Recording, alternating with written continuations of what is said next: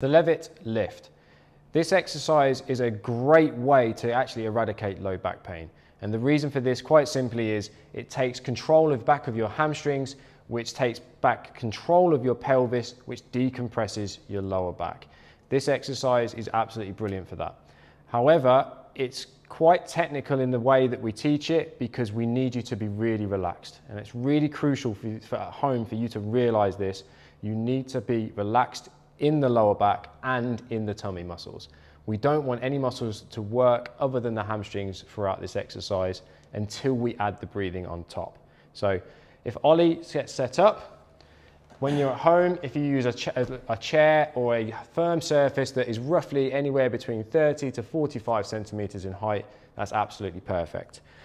What you then need to do is take a, a couple of roll towels, a pillow that's folded in half, or a really thick book, place it between your knees and give it a gentle squeeze. This is all crucial in the setup. One thing at home to always, the easiest way of remembering, have I got this right, is to think, are my knees on top of my hips and do I roughly have a 90 degree angle here and a right, uh, roughly a 90 degree angle at the knees as well.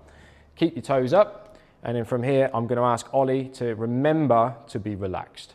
So the way we teach it here at tier one is to imagine that you're wearing a belt buckle or a belt and everything above that belt line is totally relaxed. So Ollie's now got a jelly belly, sorry Ollie, no pun intended, a relaxed lower back, relaxed chest, relaxed arms. And all I'm gonna do is ask Ollie to initially just pop his hands on his tummy just to make sure that he can feel that he's relaxed throughout this exercise. So Ollie's now relaxed, he's got the 90 degree angle here, he's got the 90 degree angle here, his toes are up and he's squeezing, he's good to go. Now the cues for this exercise are really to get your heels to go down. So I want Ollie to imagine that he's pulling his heels down through that chair now. So through and down that through that chair.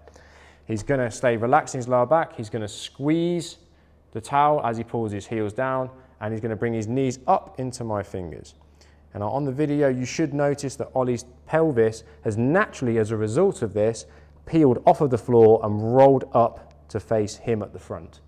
And that's really crucial because if Ollie, if Ollie does it a good one again for me, nice and relaxed, that pelvis peels up and rolls up, and Ollie will give me a nod that he can feel the backs of his legs, i.e. his hamstrings, working.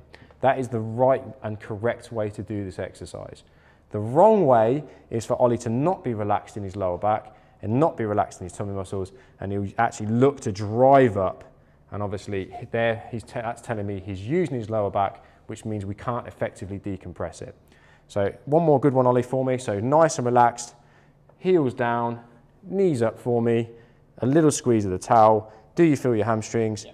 Excellent. All we need to do now is add some breathing on top. So what I want Ollie to do now is a little reach for me. So just a gentle reach, and he's gonna take a full inhale through his nose and get all of the air out through his mouth. Good work. Do you still feel your hamstrings, Ollie? Great.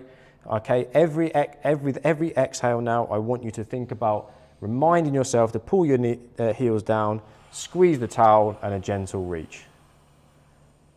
And five full exhales is enough. Have a little break and repeat, and that's an effective way to take back control of your pelvis and decompress your lower back. Well done, Ollie.